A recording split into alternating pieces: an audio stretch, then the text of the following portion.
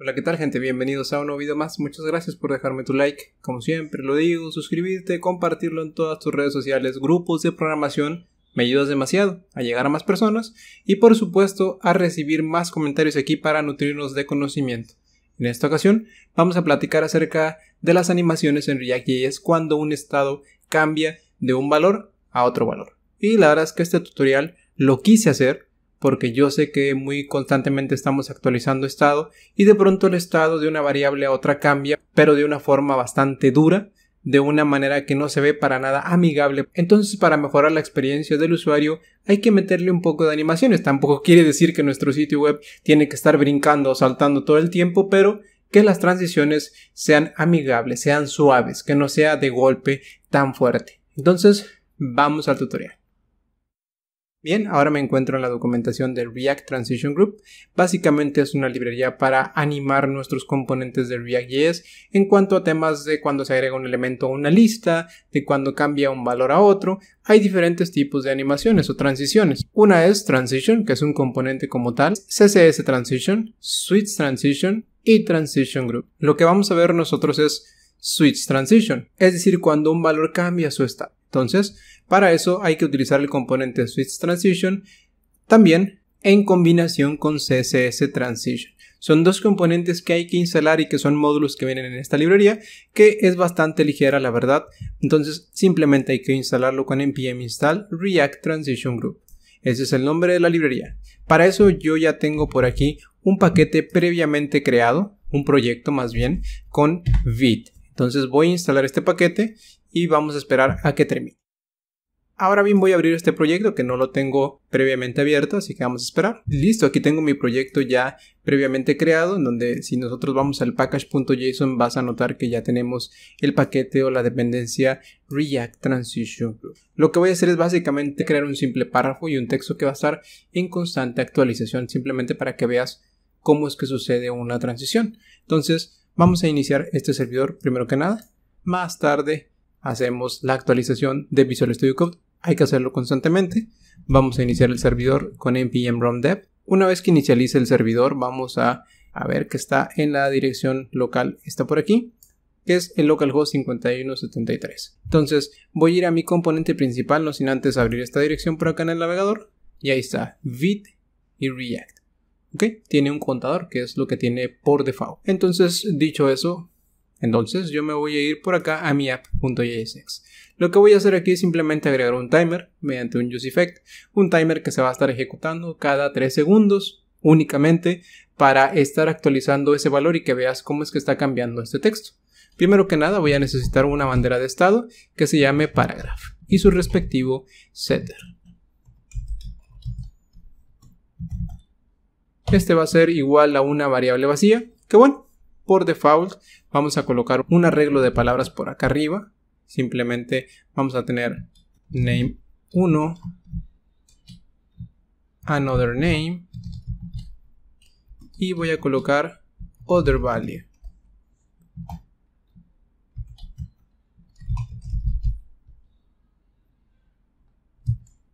Este array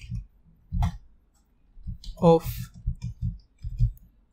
words va a ser igual a eso. Entonces la intención es estar cambiando el párrafo con el valor que hay dentro del arreglo. Para eso necesitamos un contador que me esté llevando a cabo esto. Entonces podemos hacer lo siguiente, declarar otro contador, paragraph counter y su respectivo setter. Gracias a que tengo GitHub Copilot, esto es más rápido. Entonces vamos a necesitar un useEffect. Esto va a ser un poco rápido, esto no es lo que vamos a aprender, realmente lo que vamos a aprender, que de hecho va a ser un poco más grande la letra, ahí está, lo que vamos a aprender es simplemente a ver cómo hacer ese tipo de transiciones. Entonces, lo que voy a declarar es un intervalo. Este intervalo va a ser igual a set interval. Es un intervalo que va a correr cada 3 segundos. Entonces, después del callback, le pasamos como segundo argumento los 3 segundos o el tiempo en milisegundos. Después vamos a ir agregando aquí el timer 1 más 1 más 1 que no sobrepase el tema de este arreglo. Es decir, e, es de longitud 3 porque tiene 3 elementos. Entonces simplemente lo que voy a hacer por aquí es hacer set paragraph counter y listo. Cuando nosotros actualizamos un hook, lo que normalmente sucede es que si le mandamos el valor, lo actualiza directamente. Pero ese también tiene un callback con el valor actual, debido a que el valor que existe dentro de este callback del set interval no se está actualizando, ya que useEffect únicamente se ejecuta en la primera ocasión. Entonces, fuera de que también vamos a aprender las transiciones, hoy nos estamos llevando algo nuevo si es que no lo sabías. Entonces, para este truco, lo que recomiendo hacer es colocar su callback y current value, que es como le vamos a llamar, que es el valor actual, es decir, el contador cuando inicia en 0, y después 1, 2, 3, 0, 1, 2, 3, 0, 1, 2, 3, y así nos vamos a ir. Aunque bueno, el 3 nunca lo vamos a llegar, recuerda que los arreglos inician en 0, entonces vamos a validar. Si el valor actual más 1 es igual igual al arreglo de palabras .length, quiere decir que vamos a regresar a 0 para que se actualice a 0. De lo contrario, si esto no sucede, lo que vamos a hacer simplemente es sumarlo, sumarle 1. Y claro, GitHub Copilot ya me lo hizo. Para corroborar que esto está bien y que este timer está ejecutándose correctamente, vamos a mandar un console.log de el paragraph counter y nos vamos a ir al navegador. Vamos a inspeccionar por acá. Vamos del lado derecho. Ahí está. ¿Te fijas? Vamos a borrar lo que tenemos aquí en la consola y ahora lo que vamos a hacer es que este timer lo vamos a tener que limpiar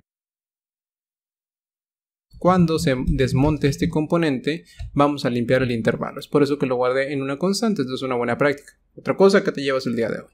Entonces dicho esto ya podemos estar actualizando un párrafo. Yo por aquí justo debajo donde tenemos el botón o el contador voy a colocar por aquí. Voy a colocar un div en donde vamos a tener palabra dinámica, seguido de array of words y después paragraph counter. Es decir, vamos a estar switchando la palabra que está justo por aquí en este arreglo. Es decir, vamos a estar mostrando una constantemente. Vamos a actualizar esta parte y vamos a ver qué es lo que sucede. Parece que por alguna razón los estilos que trae por aquí mi navegador no me permite ver eso. Pero aquí está. Si te fijas, palabra dinámica, another name, other value vamos a ver qué está sucediendo con los estilos. Parece que es tema de estilos. El app.css vamos por aquí. Simplemente le voy a dar un color black a todo. Nada más para que las letras siempre estén negras. Ahí está. Palabra dinámica name another name other value, si te fijas lo que está sucediendo aquí es que esto puede ser a lo mejor un poco inconsistente de pronto con los tiempos de renderizado, pero está funcionando. Lo que yo veo es que este valor está entrando muy duro, no entra suave, no entra con una animación. Entonces cuando nosotros queremos hacer una animación o aplicar una animación a lo a lo que viniste a este video, hay que utilizar React Transition Group. Si nosotros nos vamos a la documentación, podemos agregar diferentes tipos de animaciones. Vamos a hacer ahorita la que tenemos por default, que básicamente es la opacidad. De opacidad de 0 a 1 y es lo que vamos a ver en este video. Entonces, primero hay que ir a Switch Transition, que es un componente para verificar este tipo de cosas. Entonces, si te fijas en el ejemplo que viene aquí, lo que nosotros tenemos es Switch Transition. Switch Transition es un componente que viene de React Transition Group y nada más. Después tiene un componente descendiente que es CSS Transition, el cual trae un key. Este key puede ser un key del valor del estado, el valor de la frase. No hay ningún problema. Después viene un evento. Este evento lo que hace es que va haciendo un listener con los nodos para cuando éste termina la transición.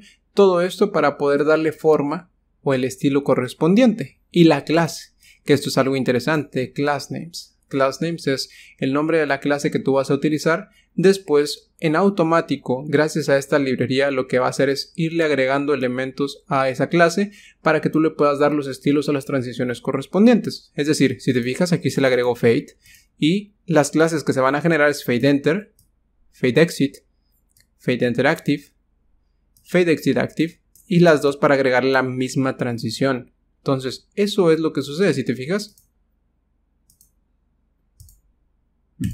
Eso está sucediendo. Cuando hay un cambio de estado no entra duro, entra con un tipo de animación.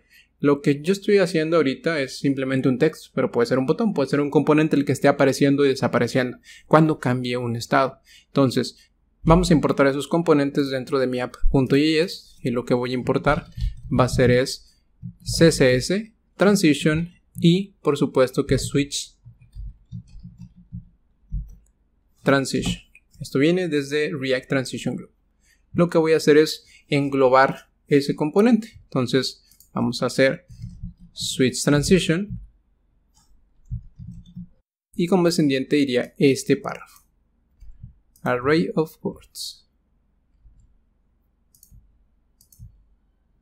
Ahí perdona por la concatenación, que no está haciendo de esta manera más correcta, debido a que no hemos configurado ningún linter de momento.